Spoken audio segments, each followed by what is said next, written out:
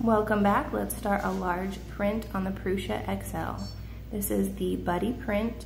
It comes pre-sliced, ready to go on the USB.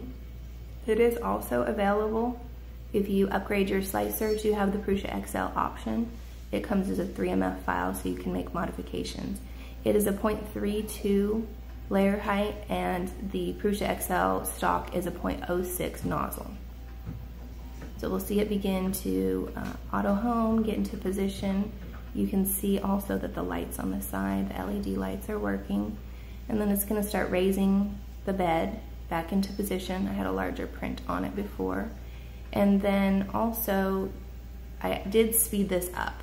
It took about a minute and a half for the bed to completely raise up into position. So, I mean, it takes a little bit of time, but it is really smooth and doesn't make much noise as it's doing it. Um, if you hear any other noises, it's just from my other Prusas that are going in the room that you can't see, they're off screen.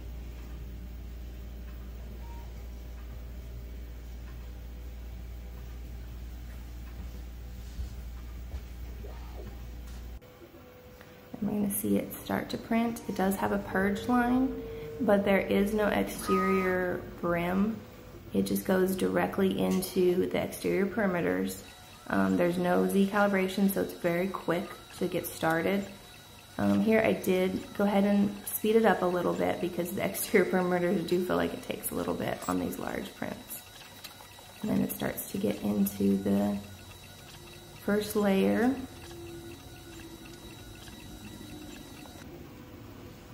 And this does seem like a different buddy print than previous ones. You can see by the way that his front feet are. It seems like his stance is a little different, um, which I actually like the way that this one is. The way it turned out, the way that it's bridged and everything, it really is a, a, a nice print.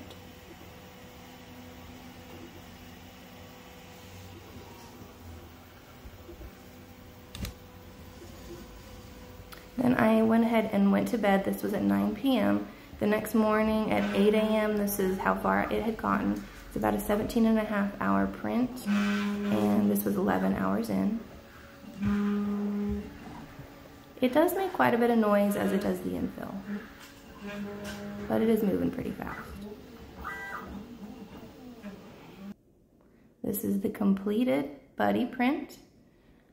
Zoom in on the face. You can see the, uh, the layer lines on there no bridging or supports needed. There is bridging. You can see his toenails. Uh, you can see the layer lines. That's how much filament I used, almost three quarters of a roll.